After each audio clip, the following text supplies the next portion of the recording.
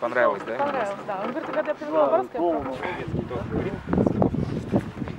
Солдаты. Но он сидит, понимает шутки, смеется, говорит, да, прикольно. Так вот со всем миром и перезнакомиться. Видишь, где летит?